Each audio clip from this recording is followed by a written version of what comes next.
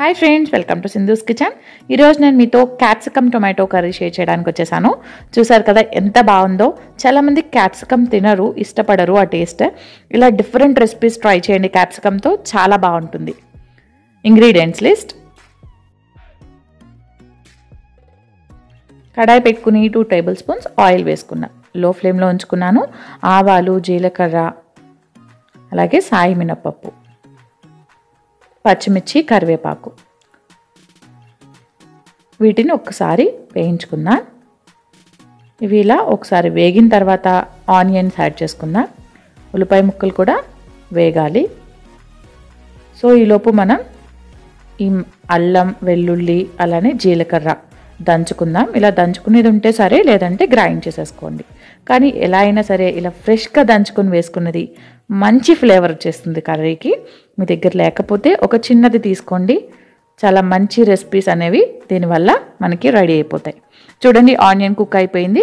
ఇప్పుడు tomato add చేసుకున్నాను. టొమాటోని కూడా కుక్ చేసేసుకుందాం. ఇది మనకి మెల్ట్ అయిపోతుంది టొమాటో. చూసారు కదా మెత్తగా అయిపోయింది. ఇలా కుక్ అయిన తర్వాత క్యాప్సికమ్ వేసుకుని రుచికి సరిపడా సాల్ట్ వేసేసుకుందాం. దీనికి ఇంకా వాటర్ అనేది నేను యాడ్ చేయలేదు. ఇలా సాల్ట్ వేసిన తర్వాత మనకి మూత పెట్టుకుంటే ఈ క్యాప్సికమ్ అనేది కుక్ అయిపోతుంది. వంకాయలానే క్యాప్సికమ్ కూడా మనకి చక్కగా కుక్ అయిపోతుంది. చూసుకుందాం. చూసారు కదా? ఇలా కుక్ అయిన తర్వాత మనం ఈ దంచి పెట్టుకున్న అల్లం వెల్లుల్లి జీలకర్ర ఉంది కదా? అది వేసేసుకుందాం. వేసుకుని ఒకసారి మొత్తం అంతా మిక్స్ చేసేసుకుందాం. ఇలా మిక్స్ చేసుకున్న తర్వాత కట్ చేసి పెట్టుకున్న కొత్తిమీర కరివేపాకు రెండు వేసేసుకుని మళ్ళీ ఒకసారి మిక్స్ చేసేసుకుందాం. మళ్ళీ మూత పెట్టుకుని ఒక టూ మినిట్స్ కుక్ చేసుకుంటాం సరిపోతుంది. చూసుకుందామా? రెడీ అయిపోయింది. క్యాప్సికమ్ టొమాటో కర్రీ ఇది రైస్లోకి రోటీలోకి చాలా బాగుంటుంది డిఫరెంట్ టేస్ట్ ఉంటుంది.